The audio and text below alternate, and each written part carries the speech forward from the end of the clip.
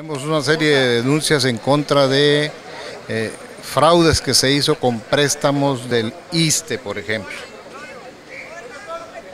en donde está involucrada gente que trabaja en la administración y que eh, usó los préstamos indebidamente y que explotó al, Estado.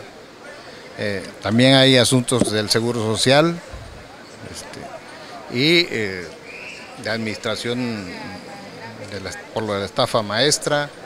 Hay varias, ahí son más de 120 millones de pesos.